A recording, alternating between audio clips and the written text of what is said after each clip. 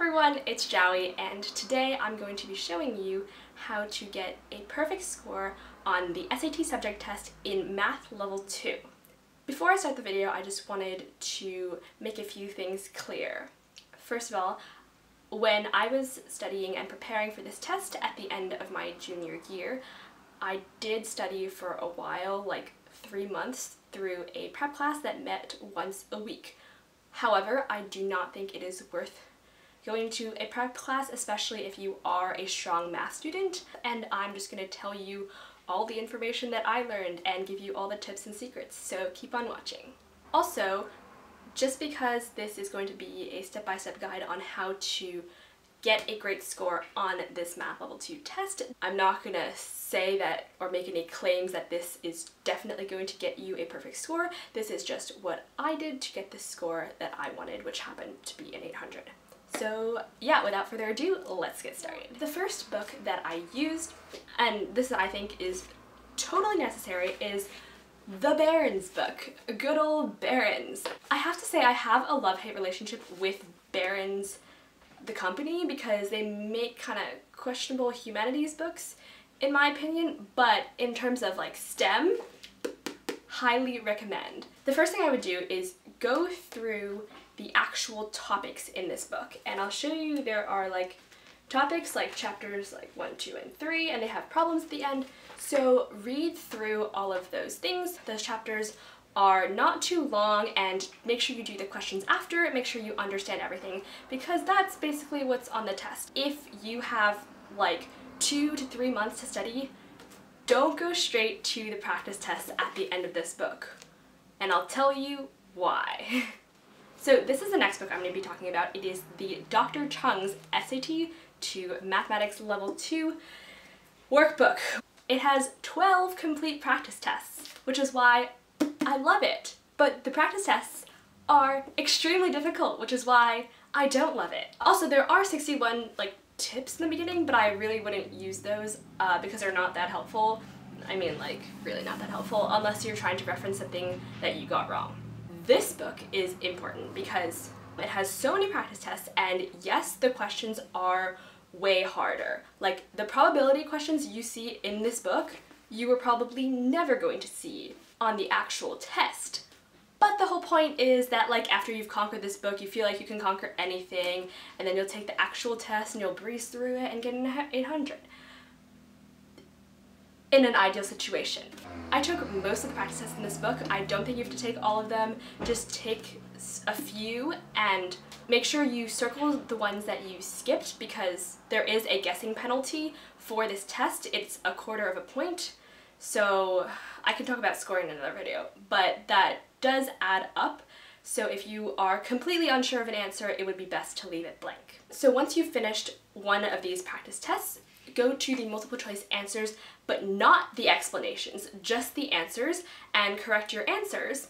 So then go back to the multiple choice questions that you got wrong in the first place and figure out what you did wrong and how you are going to fix that next time. This is the most important step of any standardized testing because they're all all copies of the test are more or less the same and it's all about beating the system, just knowing what to expect because they're pretty predictable, like they're standardized after all.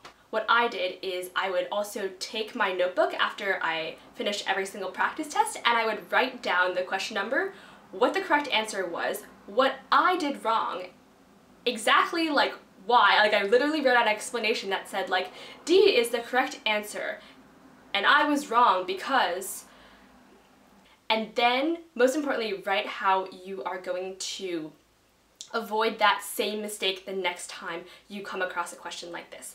This is a very important process. Just reading the explanation is not enough. If you can't figure out how to do the question, make sure you, um, of course, compare with the explanation and find out how you did everything wrong. Maybe look at some videos online. I know this is tedious, takes a lot of effort.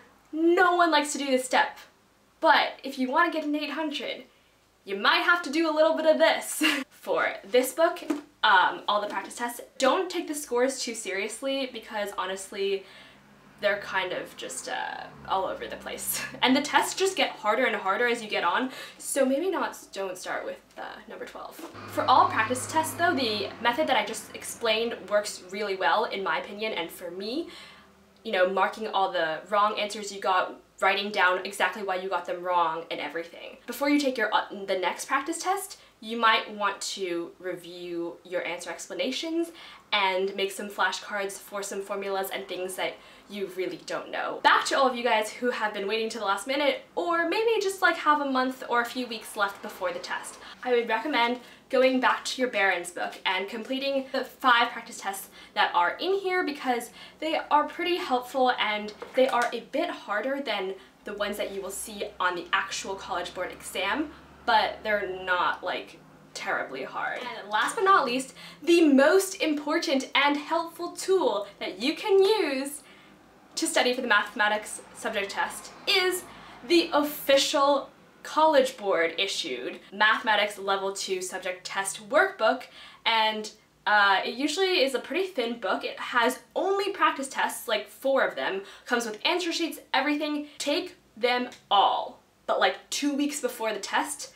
Um, by the way, all the tests that you take should be timed. Like set apart an hour to take the test and then another like 30 to 45 minutes just to grade it and everything. There's no point in taking a practice test if you're not doing it under time conditions. And I think that the more you take um, practice tests, the more you'll kind of get an idea of, okay, I can do the first um, like 30 questions in the first like 20 minutes or something like that. There are 50 test questions on the test. They get harder as you go. Be careful and definitely go really fast through the first few questions, like 30 questions, and then once you get to 31, you know you're going to have to spend more time.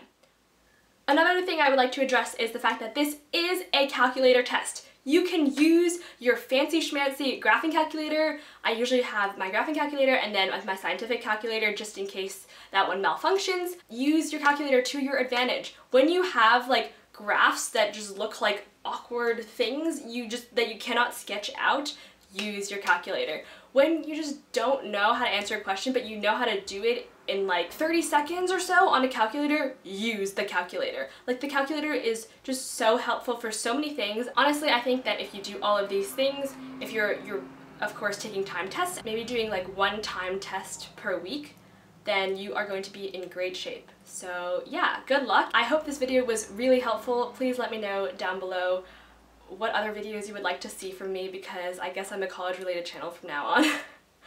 and I will see you guys in my next video. Bye!